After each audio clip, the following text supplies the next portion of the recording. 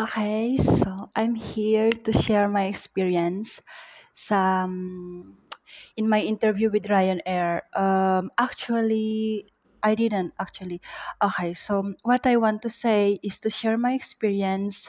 Uh, how is the process? What is the do's and don'ts before you apply? So um, I went um, last Wednesday for the recruitment day with my friend and because last two years ago i applied for Hi Fly and unfortunately uh, i cannot fly because of one reason. And the reason is you must have um, european passport or a passport that is from the country uh, a country that is a member of european union. So what happened last wednesday is this so I went with this suit. So usually before you apply, uh, especially for women, you have to wear a skirt, black skirt, and nude. For Ryan Ryanair, they need nude um, pantyhose, and this white um, inner and a coat. So um, this is the um, universal uniform for applying.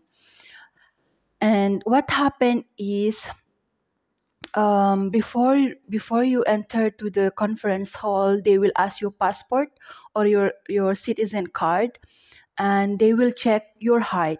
In Ryanair, I um, I think they are not very strict, but they are strict with height, and especially number one is the European passport. I have a Philippine passport and a resident card from Portugal so um, I'm still on the process of getting my citizen card from Portugal. So I don't have a European pa- a Euro- an European passport yet. So what happened is you cannot enter to the conference hall if you are above 188 uh, centimeters, something like that, because the minimum is 157 and un- until 188. If you are 155, you cannot go on with the interview and if you are 189 above the maximum you cannot go on. Because i have a lot of um, colleagues that went with me that day that cannot go because they are 155 centimeters and above the limit also. So it, it's not possible. The thing is um, if you are not from the member of european union you must have European passport first before you go to the interview for Ryanair. And the reason I, I did not continue the interview because of that. It's my dream to become a flight attendant, but I need to wait for my European passport. And my friend went in because she is she has 157 uh, centimeters height. And the first thing you will do is they will present you the, the company you will listen and next you will do an uh, english assessment exam. That's my friend did and she passed.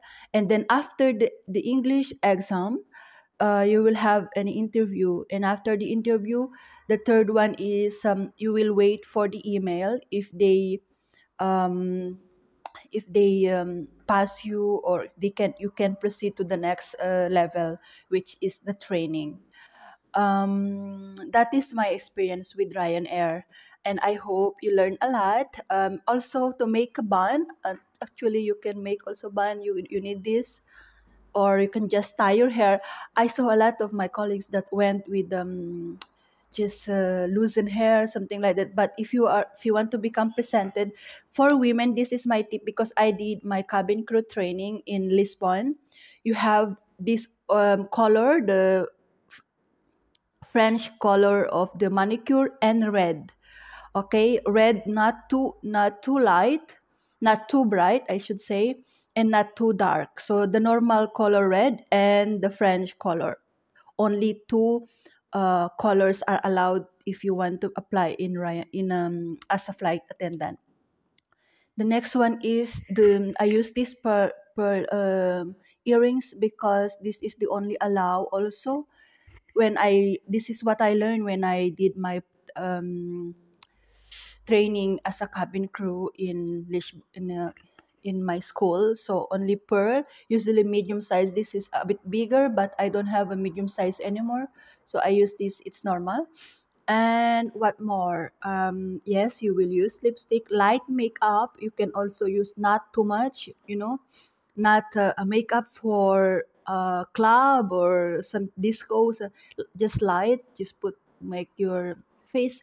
And important one thing is you need to have a confidence skills in speaking english because english is the universal language in aviation.